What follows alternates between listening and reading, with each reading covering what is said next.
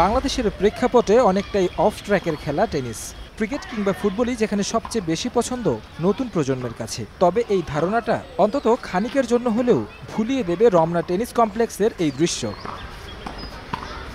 দেখে মনে হতে পারে শিশুরা মজার ছলে খেলছে, তবে তাদের মাঝে চলছে একটা প্রতিযোগিতা, জুনিয়র চ্যালেঞ্জ টেনিস প্রতিযোগিতা, যেখানে অংশ নিয়েছে অনূর্ধ্ব ছয় থেকে অনূর্ধ্ব চোদ্দ বছর বয়সী খেলোয়াড়রা। ঢাকার রমনা টেনিস কমপ্লেক্স এবং উত্তরা টেনিস ক্লাবের খেলোয়াড়দের আধিপত্য ছিল টুর্নামেন্টে। সেই সাথে জেলাগুলোর মধ্যে রাজশাহীর খেলোয়াড়রা দেখিয়েছেন মুন্সিয়ানা। জুনিয়রদের প্রতিযোগিতা তাই আয়োজনটা ছোট্ট পরিসরে। তবে তাদের স্বপ্নটা আকাশ ছোঁয়া। রজার ফেদারার রাফায়েল নাদাল কিংবা সেরেনা উইলিয়ামসদের মতো বিশ্ব মঞ্চে উড়াতে চান দেশের পতাকা। এইখানে খেলতে এসেছি খেলে রানার আপ হয়েছি। আমার স্বপ্ন বড় প্লেয়ারের মতো হয়ে ওঠার। আমি এই বছর চ্যাম্পিয়ন হয়েছি। আমার স্বপ্ন অনেক বড় প্লেয়ার হওয়া। Serena Williams.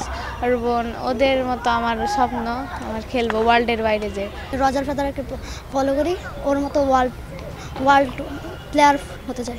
আমার স্বপ্ন হলো নাদাল যেরকম খেলে সেরকম খেলা। উৎসাহের শুরুটা পরিবার থেকে। শুধু ক্রিকেট ফুটবল নয় টেনিস নিয়েও দেশের নাম উজ্জ্বল করবে সন্তানরা। এমন প্রত্যাশায় সন্তানদের দিচ্ছেন টেনিসের দীক্ষা। আমি মনে করছি আমার মেয়ে টেনিস খেললে ভালো করবে দেশের পক্ষে সুনাম নিয়ে আসবে এর জন্য আমি টেনিসে আমাকে মেয়েকে খেলাচ্ছি। ওয়ার্ল্ড ওয়াইড আপনি যেখানেই যান টেনিসের খেলার জন্য আপনি স্বীকৃতি পাবেন। আর দুই চারটা খেলার মতো জনপ্রিয় হয়ে উঠুক টেনিস।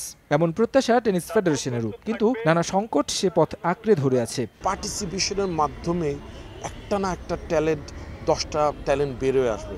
এবং ওদেরকে এই প্যারেন্টসদের মাধ্যমে আমরা চাইব যাতে ওরা কন্টিনিউয়াস অফ ট্রেনিং প্রোগ্রামে আসে। বিভিন্ন জেলা থেকে আসা খেলোয়াড়দের মাঝে পুরস্কার তুলে দেন ফেডারেশনের সাধারণ সম্পাদক গোলাম মোর্শেদ। সেই সাথে টুর্নামেন্টের ধারাবাহিকতা ধরে রাখার প্রত্যাশা ফেডারেশনের।